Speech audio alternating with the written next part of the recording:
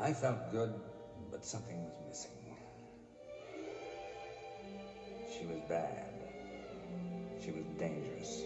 I wouldn't trust her any farther than I could throw her. But she was my kind of woman.